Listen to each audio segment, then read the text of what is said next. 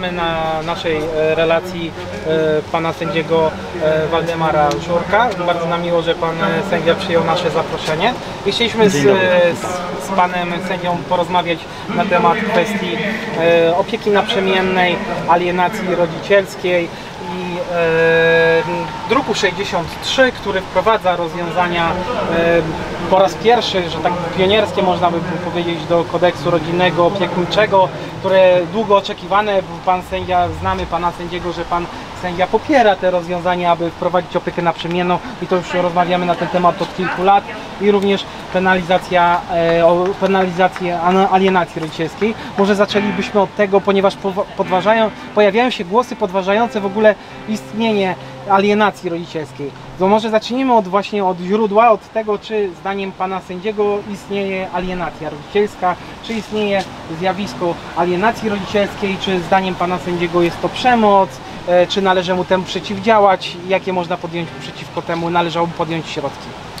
Oczywiście moim zdaniem najlepsze rozwiązania to są y, rozwiązania prawne dobre, które sprawdziły się w innych krajach europejskich. My jesteśmy bardzo z tyłu i mam wrażenie, że nasz poziom regulacji prawnorodzinnych jest na poziomie białoruskim albo rosyjskim. Alienacja rodzicielska oczywiście istnieje i nie jest to pojęcie tylko teoretyczne. Każdy z rodziców, najczęściej to są ojcowie jednak, ale zdarzają się też matki, który został pozbawiony długotrwale y, kontaktu ze swoim dzieckiem, nie będąc rodzicem patologicznym, doświadcza dramatycznych sytuacji. To są dramatyczne sytuacje w sferze tego rodzica, ale my jesteśmy ludźmi dorosłymi i my potrafimy to przeżyć. Najwięcej tracą nasze dzieci. Y, Co ciekawe, ta strona tak zwana silniejsza y, w tym właśnie, w tej alienacji rodzicielskiej, która, ta, która bezprawnie moim zdaniem, albo przy takiej asyście bierności prawa, y, która bezprawnie doprowadza do tego, że dziecko jest wyalienowane. Dziecko jak traci rodzica w wypadku samochodowym, rodzic umiera, chodzi na cmentarz, przeżywa żałobę. Tutaj dziecko wie, że jest jakiś rodzic, ale nie ma z nim kontaktu. To są moim zdaniem dramatyczne, traumatyczne sytuacje, które rzutują na dorosłe życie. Tak? Ja dostrzegam osoby, które były wyalienowane od jednego z rodziców, jak wielkie problemy mają w dorosłym życiu, w relacjach damsko-męskich, czy jakichkolwiek, które później wchodzą. Yy, Później jest takie odbicie czasem, że do tego rodzica, który właśnie doprowadził do tej alienacji, pojawiają się różne takie właśnie nienawistne nawet zachowania. Ja jestem fanem opieki naprzemiennej, racjonalnej. E, Ona ma podłoże także naukowe. Wszyscy wiemy o amerykańskich badaniach, które zostały przeprowadzone na tysiącach rodzin, które pokazują, że dzieci są lepiej wykształcone, mobilniejsze, nie czują się wyalienowane właśnie nawet w środowisku szkolnym, czy takim, takim małym, w którym żyją same, bo mają dwóch rodziców tu spędzają tego, tu spędzają tego, potrafią się szybko spakować, e, jak trzeba zmienić później miejsce pracy, jak są dorosłe, firmę, one są elastyczne, one są wyedukowane, bo często ci rodzice, którzy naprzemiennie sprawują opiekę, każdy z nich stara się, żeby jak najlepiej wyedukować to swoje dziecko. Rodzice zaczynają ze sobą rozmawiać i rywalizować, żeby to dziecko miało jak najlepiej, żeby miało jak najlepszą edukację. To są rozwiązania sprawdzone, ja nie wiem dlaczego u nas nie da się wcielić w życie. Natomiast co mnie najbardziej niepokoiło, pamiętacie e, Państwo, była taka sytuacja, kiedy zapisano w kodeksie rodzinnym opiekuńczym e, kwestię taką, że dziecko ma prawo do wychowywania przez oboje rodziców, ale za tym nie poszły już żadne zabezpieczenia. Dlatego, że mamy sytuację od faktycznej alienacji, kiedy rodzic jest pozbawiony kontaktu z dzieckiem, do badań i później wyroku sądowego pierwszej i drugiej instancji. Jeszcze mamy jakieś zabezpieczenia weekendowe i zazwyczaj dziecko jest chore i rodzic go nie ogląda pół roku. Ja miałem sam taki przypadek, że 8 miesięcy nie widziałem córek. Musiałem wieszać im na płocie prezenty. Y, To było dla mnie traumatyczne przeżycie. Odbudować to wszystko później. Dramat. ba- bardzo trudne. Czasem nawet niemożliwe. I wiemy o tym wszyscy, którzy to doświadczają. Dlatego powinien być system taki. W momencie, kiedy rodzice się rozstają, gdy jeden zaczyna alienować, schodzi system prawny, który natychmiast mówi opieka po połowie. Jesteś niepatologicznym rodzicem, dostajesz opiekę natychmiast po połowie przez czas procesu, a na końcu opieka na przemian. Taki jest, taki jest mój pogląd, będę go bronił.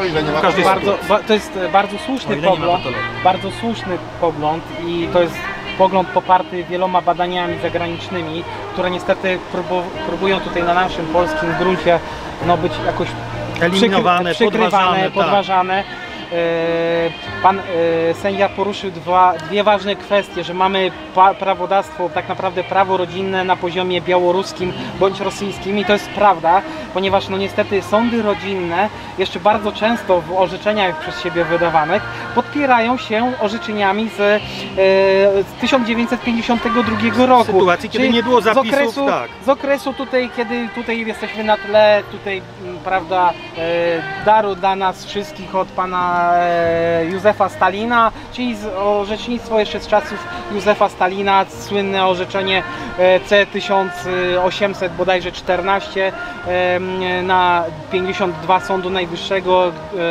gdzie jawnie po prostu wskazano, że należy po prostu eliminować jednego, jednego z rodziców z życia dziecka i że nie można, prawda, nie można e, procedować w ten sposób, aby no, dziecku zapewnić pomimo rozstania rodziców oboje, oboje w jego życiu, żeby dalej oboje rodzice wychowali i sądy, mamy XXI rok, e, XXI wiek, w 2021 roku, sądy nadal e, w uzasadnieniach wydawanych przez siebie orzeczeń bardzo często powołują się na orze, e, ustawy z uchwały Sądu Najwyższego z 1952 roku. Staramy się to zmienić.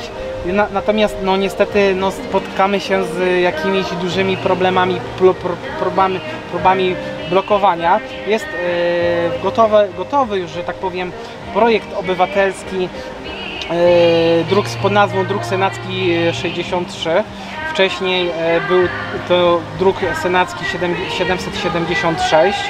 E, doszliśmy już do, na takim etapie, że do, jesteśmy przed pierwszym czytaniem i z jakichś tam powodów e, mm, z jakichś tam powodów nie, no, są jakieś lobby i siły, Blokujące. które blokujące, e, powstrzymujące to, aby no, to przed spowodowaniem do tego, aby no, ta ustawa zos- została doprowadzona do tego, żeby było pierwsze jej czytanie. Mało tego, Ja, ja muszę panu przerwać. Ja bym chciał użyć jeszcze dwóch argumentów, e, które bardzo często są e, pomijane w całej kwestii opieki naprzemiennej. Je, jeden z nich to jest argument demograficzny. Ja się spotykam z młodymi ludźmi, którym, którzy mówią tak. Po moich doświadczeniach z pierwszego małżeństwa i alienacji wobec dziecka, to ja nie chcę mieć więcej dzieci. Amerykanie mają bardzo dużą liczbę rozwodów, ale jak się robiło statystyki, są oni najszczęśliwszymi ludźmi, jeśli chodzi o małżeństwa czy związki i chcą mieć dzieci. No, a u nas y, w sytuacji, gdy jeden z rodziców, który jest pozbawiony kontaktu z dzieckiem, staje się przenośnym bankomatem, jak ja to nazywam, to jest największy dramat. I zróbcie kiedyś Państwo ankietę, ile osób nie chce wchodzić w poważne związki z dziećmi, jeśli mają dramatyczne doświadczenia ze związku pierwszego. To już jest taka ankieta. Pa, panie sędzio, my robimy takie ankiety. Jako szczyt alienacji rodzicielskiej do nas bardzo mnóstwo rodziców zgłasza się z uwagi na to, że ze względu na traumatyczne przeżycia e, w sądach rodzinnych, no nie chcą zakładać po raz drugi, e, po raz drugi mm, rodziny i przechodzić po raz drugi to samo. Natomiast pan sędzia porusza bardzo duże, tutaj bardzo ważne i bardzo istotne i merytoryczne problemy, które niestety uciekają w polskim parlamencie Uciekają. i i e, no, te merytoryczne głosy z jakichś powodów nie są dopuszczane, ponieważ pan sędzia tutaj słusznie zauważył. Zaproście mnie na komisję, jak no, zaprosi- oficjalne jeżeli- Oczywiście proszę się czuć zaproszonym i będziemy pana sędziego zapraszać. Musimy jeszcze I ten, będzie- który e, przeprowadza E, przez nie, parlament to. E, znaczy w polskim Senacie e, z ustawy w tym momencie ten projekt jest w rękach senatora Kwiatkowskiego i senatora Pocieja. Mało tego padła deklaracja ostatnio, e, z, o dziwo, z, z, ze strony Rzecznika Praw Dziecka Mikołaja Pawlaka, że zmienił jednak swoje postrzeganie na te rozwiązania i zaczyna je popierać. E, więc zaczyna się ponad podziałami politycznymi udawać do, te różne, można powiedzieć, e, strony po różnych po, politycznych stronach barykad połączyć w tej jednej wspólnej sprawie.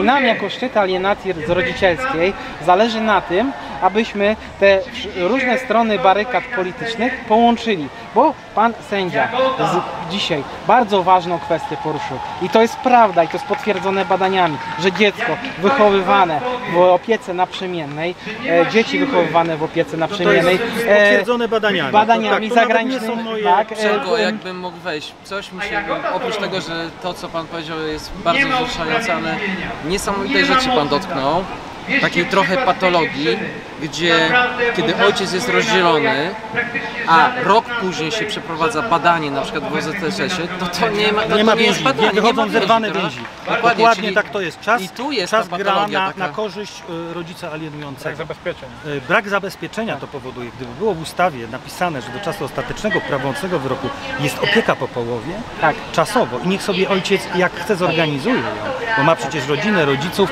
i wielu innych, którzy mu mogą pomóc. E, Matka oczywiście może to zrobić i wszyscy, nikt nie ma do niej pretensji, że ona idąc do pracy zatrudnia nianię. Ojciec już nie może, prawda?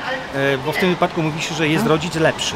To powoduje to, że za rok dziecko małe nie będzie pamiętać, wręcz będzie się bało tego ojca. To wyjdzie w badaniach i sąd później rozłoży ręce, no takie mam badania. Ja jeszcze chcę powiedzieć o jednej rzeczy, to jest bardzo ważne i powinniście też o niej mówić głośno. Kwestia alimentacji. Dlaczego nagle e, tylu rodziców nie płaci alimentów? Ja powiem Wam sytuację. Mama idzie do sądu, chce mieć y, wysokie alimenty, zapisuje dzieci na 13 zajęć dodatkowych. Chodzi o to, żeby sama mogła też korzystać przy okazji, ale już dwa miesiące po wyroku sądowym prawomocnym dzieci są wypisane z wszystkich zajęć dodatkowych. Chodziło tylko o to, żeby podkręcić sprawę alimentów. I teraz rodzic, który nie ma wpływu, jak wykorzystać swoje środki na wychowanie swojego dziecka, zapiera się w pewnym momencie. I mamy wiele takich przykładów, że ci rodzice nawet jakby mieli środki albo staraliby się zarobić, to machają ręką. Mówią, nie, zarobię tylko tyle. Dlaczego? Bo ja nie będę miał żadnego wpływu, jak te środki zostaną wykorzystane. A opieka naprzemienna likwiduje cały ten problem. Tak, I nagle się okaże, że chociażby- jest płatność alimentu, że ci są alimentowane, że, że alimenty są ściągane. Albo chociażby tabele alimentacyjne, gdzie Tabele moglibyśmy, alimentacyjne w Niemczech funkcjonują Natomiast i- i to jest tutaj bardzo muszę proste. trochę wrzucić e, kamyczka do sędziowskiego e, ogródka. Nie sądziłem nigdy w sądzie rodzinnym. tak, natomiast tutaj muszę wrzucić troszkę kamyczka z praktyki zawodowej, że do kamyczka do sędziowskiego ogródka. No, że niestety właśnie są pewne grupy interesów e, no, powodujące to, no, że w momencie, kiedy te rozwiązania, o których Pan sędzia mówi, e, zostaną wprowadzone, dużo spraw sądów rodzinnych Zniknie. zniknie. Ale I ja bym teraz, bardzo chciał, żeby znikły. ale teraz, czy sędziowie rodzinni tego chcą, czy Nie, nie, nie, wiecie Państwo, no, pan ja sędzia- mam tutaj inny pogląd. Ja uważam, że sędziowie rodzinni, wielu z nich e, mamy takie zatory w sądach, w całym pionie cywilnym, że dla mnie e, wielu tych sędziów spokojnie da się przenieść, jak liczba spraw sądowych się zmniejszy. Natomiast pamiętajcie jedno, sprawa, która nie trafi do sądu, bo będzie właśnie opieka naprzemienna, to nagle się okaże, że 800 tysięcy, milion spraw, także takich posądzeń, prywatek, karnych, kiedy rodzice zaczynają już wojnę na całego, Bo oczywiście one znikną z systemu. Tak. Więc jeżeli ktoś mi mówi, jak zmniejszyć liczbę spraw, to ja mówię, prowadźcie opiekę jak, jak zmniejszyć liczbę e, spraw i jak zwiększyć demografię, bo w tym czasie Dokładnie. rodzice, rodzice zamiast za, zajmować się czas za, na założenie zajmowały nowej rodziny. Tak. a, te, a niestety ta, ta, taka jest prawda, A tu to jest rok walka. ta, że rodzice muszą być są Na całego. angażowani w spór, e, nieraz, nieraz jeżeli rodzic nie chce się dać wyeliminować z życia dziecka, e, chcąc się Poświęca zaangażować, wszystko wtedy. musi się poświęcić Od rana do wieczora musi być w gotowości. gotowości do, do tej sprawy, nie ma czasu na zakładanie, e, e, na zakładanie nowej rodziny. Ja to się- naprawdę rozumiem. I to się odbija. Ja to rozumiem, bo ja też miałem, jak mówimy o alimentach, ja też miałem w pierwszej instancji kiedyś alimenty, które jak wyliczył później sąd drugiej instancji, bo się odwoływałem, no to z wszystkich y, wynagrodzeń, które miałem, więcej innych nie mogłem mieć i spłat kredytu, bo płaciłem też kredyt za drugą stronę. Zostawałoby mi 240 zł na miesiąc. Niestety. Sąd drugiej to i instancji tak to pokazał, wyliczając tylko liczby. Więc wiecie Państwo, no, musimy na to patrzeć. Pan sędzia i tak był w bardzo dobrej sytuacji, bo ja znam ze swojej praktyki zawodowej wielu ojców, że po zapłaceniu e, alimentów nie zostaje nic, są na pod kreską, są na minusie, bo Ja miałem sądy tą, się kierują, ja bo tą sądy lepszą się kierują sytuację, że nie mogłem podjąć innego, Tak. innego y, żadnego innego zarobkowego y, zajęcia, y, bo nie mogłem ustawowo. Y, a, a często widzę też takie orzeczenia, na przykład on stracił pracę, a się mówi, no nie, dzisiaj można znaleźć pracę i, i nagle wpada w ten korkociąg, bo pół roku nie miał pracy, a wszyscy mówią, no nie, jest bezrobocie. To, że on jest na przykład informatykiem, no mógł przecież zamiatać ulicę, też by pracował. Nie możemy tak myśleć, nie możemy tak myśleć, bo doprowadzamy często do degradacji człowieka y, finansowej, emocjonalnej. E, I w ogóle to st- jest niszczenie człowieka. Tworzą się z tego tragedie, bo y, temat uprowadzeń rodzicielskich, o których nie mówimy, ale warto je dotknąć. one są wygenerowane bardzo często przez system. Ja je potępiam, dlatego że jestem zwolennikiem przestrzegania prawa, ale jak widzę, że prawo jest złe, to słuchajcie, musimy zmienić to prawo. Muszę lecieć niestety, Panie więc sędzio, jeszcze tak. ostatnie pytanie. Jeśli tylko to seria pytań i lecę, bo Okej. niestety mnie zaraz tam będą ścigać.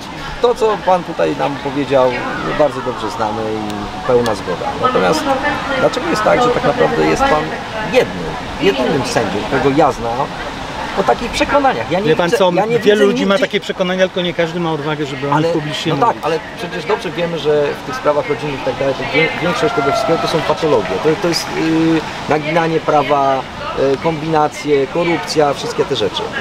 I sędziowie powinni to, to widzieć. Wie pan, A ja, pod- ja a- spotykam grono sędziów e, naprawdę młodych i to się widzi nawet po niektórych orzeczeniach. Musimy starać się nie generalizować, tylko sędziemu trzeba dać oprzyrządowanie. Ja to zawsze mówię, jak panu ktoś da szpadel i, i, i pniaczek i mówi porąb ten, ten pniaczek szpadlem, to pan to też zrobi, ale, ale wiecie, to trwało tyle, że złamie pan szpadel i jeszcze ręce połamie. Ale jak panu ktoś da siekierę dobrą, to pan w 3 minuty to porąbi. Jeżeli my nie mamy narzędzi, które są w cywilizowanym świecie, to tak będą wyglądać procesy rodzinne, że to będzie od ściany do ściany. Jeżeli wprowadzimy opiekę naprzemienną z szeregiem różnych mądrych uwarunkowań, które przetestowano w innym kraju, szereg problemów zniknie, a sędziowie dostaną narzędzie i nikt już nie będzie mógł się tłumaczyć. Panie sędzio, mamy do Pana jeszcze jedno takie pytanie. E, Już przechodząc do konkretów e, i do konkretnych prac nad drukiem e, 63. A mianowicie mielibyśmy do Pana jako organizacje społeczne apel do podjęcia rozmów ze stowarzyszeniem, ponieważ Pan jest członkiem Stowarzyszenia Justitia. Temis. I- To nawet, y, przy, ale nawet jeżeli Państwa Stowarzyszenie Temis, Pańskie Stowarzyszenie Temis, y, ale nawet no, jeżeli by mógł Pan nas na przykład też włączyć do rozmowy z Justitią, a mianowicie o co nam chodzi. W poprzedniej, do, y, poprzedniej kadencji Sejmu, kiedy był druk senacki 76, E, niestety Stowarzyszenie Justitia, na pewno Stowarzyszenie Sędziów Rodzinnych w Polsce e, złożyło do rozwiązania, do ustawy Opinię. negatywną opinię do opieki naprzemiennej i, e, i no, tak naprawdę to uzasadnienie, nie boję się tego nazwać, y, tego negatywnego stanowiska było niedorzeczne i wynikało, to z- w ogóle było zaprzeczenie, te uzasadnienie to było zaprzeczenie tego, co Pan nam sędzia mówi, a Pan sędzia, że kieruje pan się... co, ja muszę panu powiedzieć Tak, ja coś wiem, że- anegdotycznie. Na jednym z takich spotkań, nie powiem w którym mieście, spotkała mnie pani tylko po drugiej stronie i mówi, Tak. że ja nie mam racji mówiąc o opiece naprzemiennej. Tak. I ona dawała, zaczęła mi dawać argumenty. Ja mówię, dobrze. Jakie to, to, jakie to No argumenty? nie, że dziecko zmienia zbyt No tak. często miejsce zamieszkania. Ja mówię, dobrze, tak.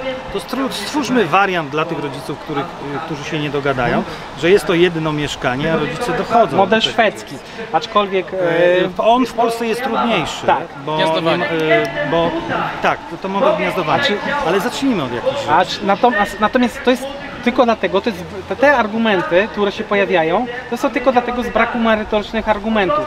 I żeby trzeba mieć jakiś pretekst do tego, żeby torpedować tą opiekę naprzemienną. Bo oczywistym jest i no, na logikę ludzką i na doświadczenie ży życiowe jest i to jest poparte e, no, twierdzeniami, badaniami specjalistów, między innymi pani profesor Trzęsowskiej-Greszty, która nawet w 2016 roku e, na komisji sejmowej wprost powiedziała, że no tylko, psycho, tylko, mnie psycho, kończąc, tylko psychopata, tylko psychopata może myśleć, że lepiej dla dziecka, tylko, że, tylko psychopata może myśleć, że dla dziecka jest lepiej mieć e, dwa, e, jeden dom, e, mieć, gorzej jest, żeby mieć e, dwa domy, niż jednego rodzica mniej. Że To tylko jest psychopata- dokładnie sedno tego. Dziecko Więc- chce mieć kontakt z obojgiem rodziców i właściwie w każdym wieku, dopóki nie osiągnie e, pełnoletności, później potrzebuje pomocy każdego z rodziców. Wiecie, co się później rodzi? Tacy wyalienowani ojcowie, kiedy dziewczyna ma ślub, że mają chrzciny, ona chce mieć tego drugiego rodzica. A to jest takie zapętlenie, takie zacietrzewienie, taka nienawiść, że wymusza jeden z rodziców, ten, który alienował, że nawet tego rodzica ma nie być na uroczystościach. Ja mam tylko jedno takie pytanie, czy komentarz jakiś do wyroku ostatniego w sprawie Child Alertu Białostockiego? Czy pan e, sędzia zna ten wyrok? E, Chodzi o Cezarego Rodaka, porwanie rzekome dziecka i matki. Dostał 3 lata więzienia za to, że chciał scalić rodzinę i zabrał Wiecie Państwo, ja jestem zawsze bardzo ostrożny, jak nie mam akt przed sobą I 10 lat izolacji dostał od dziecka jeszcze. I on jest prawomocny ten wyrok? Nie. No nie, jeszcze nie, na Nie, szczęście. Słuchajcie Państwo, ja zawsze jestem ostrożny w komentowaniu wyroków, jak nie mam akt. E, I tutaj pozwólcie, że nie będę tego komentował. Jak, jakbym miał akta, tak jak byłem rzecznikiem prasowym sądu, miałem w zakresie swoich czynności sprawy rodzinne i ja przeczytałem akta od deski do deski i ja widziałem, co się dzieje, to ja mogłem wtedy się do nich odnosić, albo jakbym sam sądził. E, Natomiast e, sądy i orzeczenia sądowe trzeba krytykować. I nie boimy się dzisiaj tego robić. Ja zawsze byłem w tej grupie, która mówiła, że nie ma świętych krów. Jeżeli wyrok jest zły, nie atakujemy człowieka, który go wydał. Oczywiście jego nazwisko jest jawne, bo żyjemy w państwie prawa. Ale punktujemy merytorycznie każdą głupotę, bo my jesteśmy tylko ludźmi i takie rzeczy też się Zachęcam, do przejrzenia e, sprawy Muszę na lecieć. Ja cię- 9 na koniec, na- na- PL. Pytanie, Tak, czy jest ostatnie. szansa na dążenie do samooczyszczenia się środowiska sędziowskiego, prawniczego? E, Wie pan co, to jest temat na długą dyskusję, co się wiąże pod słowem samooczyszczenie, dlatego że Nie krycie po prostu ludzi, którzy Solidarność zawodowej. którzy, którzy mają po prostu no, postawione na przykład zarzuty, nikt tego nie chce rozpatrywać. Nie, nie, nie. To, to y, wie- wiecie Państwo, nie ulegajmy propagandzie, która się wdziera bardzo głęboko w świadomość ludzką przez media. My to przeżywamy w tej chwili Ja wiem, ale wiecie Panowie, coś takiego Wam powiem. E, ja byłem w sądzie, gdzie przyglądałem się sędziom, naprawdę. I w tym moim małym środowisku ja nie widziałem, tak jak, jak była patologia, to była momentalnie sprawa. Ja byłem w KRS-ie prawie dwie kadencje. To przerwano y, drugą kadencję, bezprawnie. Ale y, usunęliśmy wtedy 12 sędziów z zawodów. Więc mówienie, że nie było systemu, który usuwał. My byliśmy pierwszą y, taką formacją zaufania publicznego, która stworzyła jawne procesy dyscyplinarne. Nikt o tym dzisiaj nie mówi. Że każdy mógł przyjść do sądu apelacyjnego, zobaczyć, wejść na salę, mógł przejść do sądu najwyższego, jak usuwano sędziego za to, że powiedziano źle, robisz to, to, to i to. Y, Więc nie dajmy się zwieść. Jeżeli dzisiaj zlikwidujemy Izbę Dyscyplinarną, jest Izba Karna, jawne wyroki. Jawne. A ja jestem za tym, żeby nagrywać każdą rozprawę. Ja się nagrywam od wielu lat. Prowadzę rozprawę, gdzie wszystko się nagrywa i macie każdy dowód, jeżeli sędzia popełni jakiś błąd. To jest najlepszy dowód. Wymuście najpierw na, na władzy, żeby nagrywał każde, każdą rozprawę. Wtedy sędzia się zachowuje przyzwoicie nagle. Ci strony się zachowują przyzwoicie nagle. Wszystko jest na kamerze. Panie Muszę sędzio, lecieć. ostatnie pytanie, Dziękuję tylko dla dzieci. Czy we, według Pana, zdaniem Pana sędziego, alienacja rodzicielska powinna być penalizowana?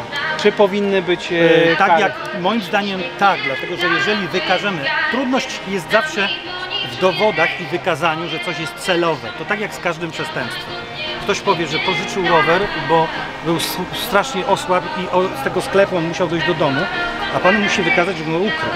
Więc tutaj największym problemem e, nie, nie będzie wprowadzenie przepisu penalizacyjnego, ale później wykazywanie, że to było Tak. celowe, z zamiarem i we współpracy czasem z, z osobą, która zaświadczenia lewe wystawia, czasem z innymi osobami, które doprowadzają do tej alienacji. Psychologiem. Więc to trzeba myśleć, jak się wprowadza przepis penalizujący, jak go będziemy wykonywać, Dokładnie żeby tak. on był skuteczny. Panie sędzio, my jako Bo to jest kwestia organizacja... zamiaru, pamiętajcie, to trzeba wykonać zamiar, że ktoś działa celowo po to, żeby ojca pozbawić, czy matki Dokładnie kontaktu tak. z dzieckiem. I my w tych poruszanych dzisiaj kwestiach, Panie Sędzio, jako organizacja Kościoła Alienacji Rodzicielskiej, zupełnie podzielamy Pański pogląd. Jesteśmy po prostu... Przyjdę na komisję i będę mówił to samo, co mówiłem do Was. Muszę Podzielamy... lecieć.